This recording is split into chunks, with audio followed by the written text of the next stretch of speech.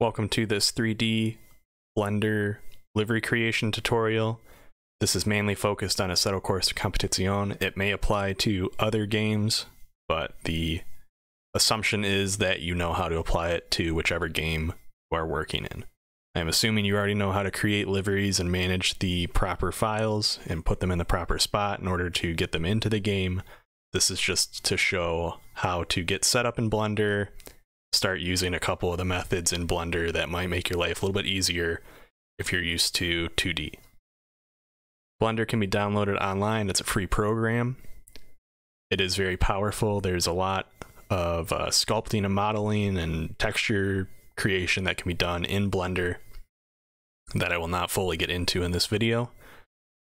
But I encourage you to play around with it if you have a creative idea that you want to use for your in-game livery. The shading tab specifically is something that can be very useful for creating complex materials, complex textures. If you're questioning what any of these nodes or settings do, take a look at the Blender wiki. They have very good documentation on most of their settings through the program. You can also find a lot more information online.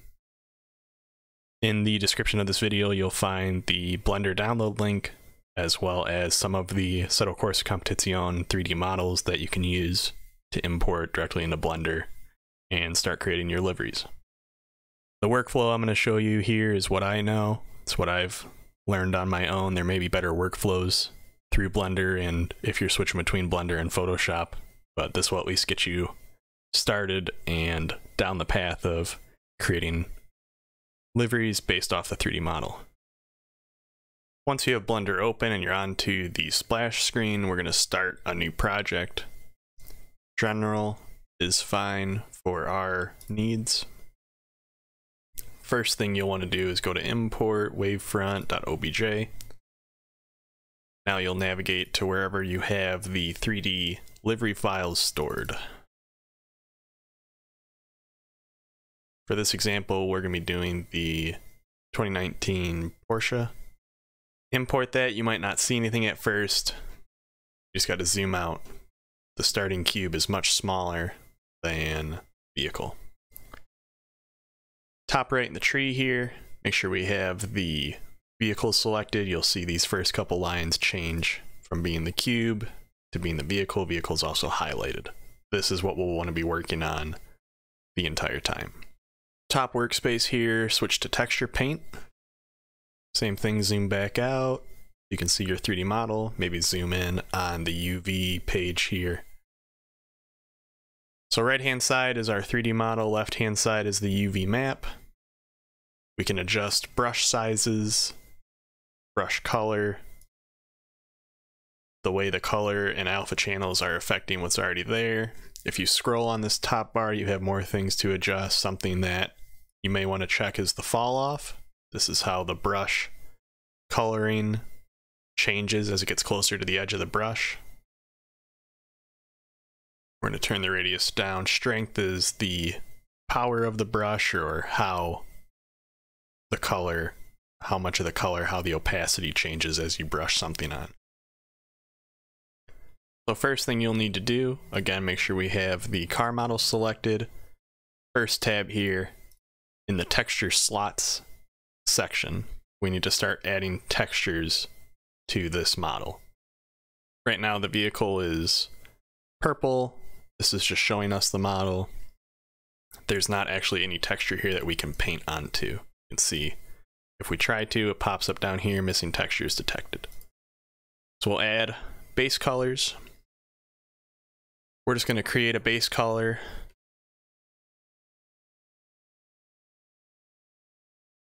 your UV maps and the templates that Assetto Corsa Competizione uses are all 4096 pixels wide and high. Make sure you set that appropriately. When we get to doing the decals and sponsors textures, you want to change the alpha to zero. This is the transparency of that texture. If you're doing a base color, then you would leave that at one pick whatever color you want, hit OK. So this now is a texture that we can draw on. This is essentially what your in-game base color would be if you have one. And then we can go about painting on different shapes. And you can see if we reselect this over here, this 2D side changes to be the same texture and you can see how when we paint here, it crosses over to the 2D. If we paint on the 2D, it will cross over to the 3D model. So that shows you the link between the two. This is your UV map or your 2D page that you might be familiar with from Photoshop or any other 2D program. This is how it correlates to the 3D car model. This is what you would see in game. Couple ways this can be useful is to identify certain parts. If you're working primarily in Photoshop, so you don't know where these wheel louvers are, you can paint them and then they'll appear here on the UV map. It can be hard to see with how thick the UV map is, and that also works the opposite way if you don't know what a part of the car is that you find on the UV map. Paint it here on the UV map, see where it shows up, the 3D model. In order to get started with our decals and sponsor textures that we need for Assetto Corsa, we'll make a decals texture. Then again, you want to set that alpha to zero so that way it's fully transparent. Only what we set on this texture will be shown. Otherwise, the in-game base color will come through. Okay, you can see fully transparent. We'll do the same thing for sponsors. Again, make sure you're at 4096 and alpha of zero. Okay, same thing, fully transparent we switch between these different textures over here on the left, it'll switch the file here as well. So decals, this is something where maybe you add your racing stripes down the car. For example, that's what it might look in 2D. Or you can do the same thing here in 3D. Say we want to go directly top down on the vehicle, create a stripe. It'll hit the proper parts of the UV map that we didn't get just drawing across the 2D image. So we missed the rear wing.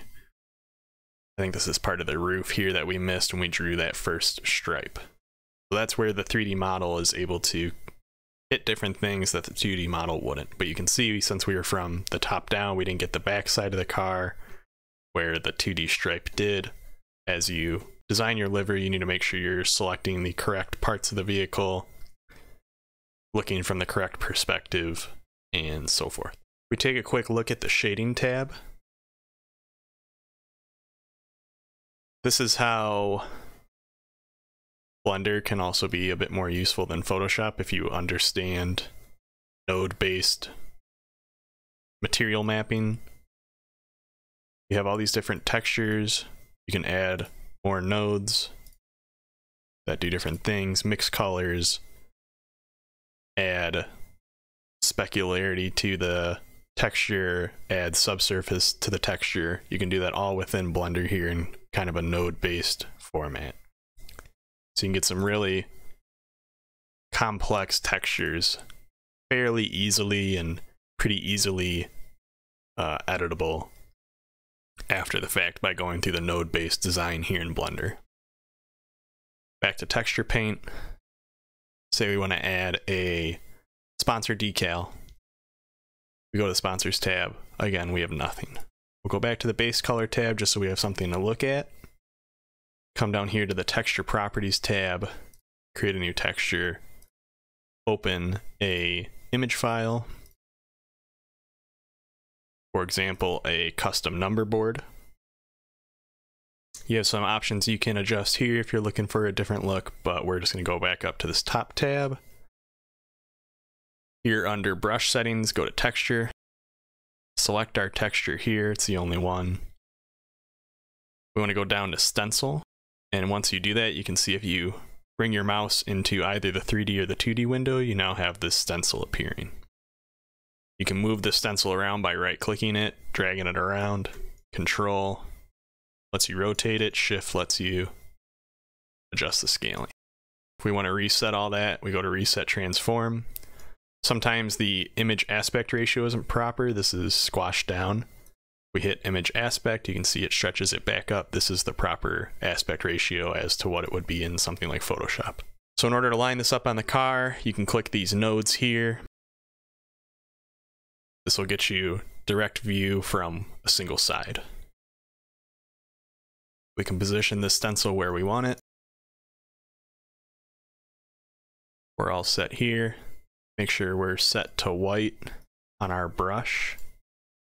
True white. Make our radius a little bit larger so we can get the full stencil. If you're trying to do some interesting effects, fall off is something to look at. I have it just on constant so that way it's 100% opacity within the constraints of the brush. Click on your stencil, that'll stamp it on. Now to get rid of this little stencil transparency, come down here, click the X button, and that just unlinks it. It's still there if you want to come back to it. And you can see now it's on the vehicle. And you can see it's here in the UV map. You can see how that might have been a little bit difficult to line up all in 2D. So this is all baked into this one texture we've been drawing on though, not very useful the proper way to go about it. This is just for demonstration so you can see the vehicle. You want to make sure you're on the sponsors tab when you do this. So we'll go back to our base car. Again, get our stencil lined up where we want it. And then now we go to sponsors. This is the layer we actually want this image to be on. We stamp it there, close that out, and you can see that's our only thing on this layer. So now you could add more sponsor logos across the car, whatever you want to do. You could export just this one element to Photoshop and layer it in Photoshop if you prefer to work there and just have a couple things you want to do in 3D where the panels don't line up nicely. Once you're set with an image that you want to export, go to image, save as, navigate to wherever you need to, and then make sure you have your export settings set appropriately. So if you're bringing it into Photoshop, I would recommend zero compression on a PNG or 100% quality on a JPEG and then do your proper compression in Photoshop. If you are exporting this sponsor's texture right into the game, you need to be a PNG and then you may want to set your compression here to have a proper in-game sized image file.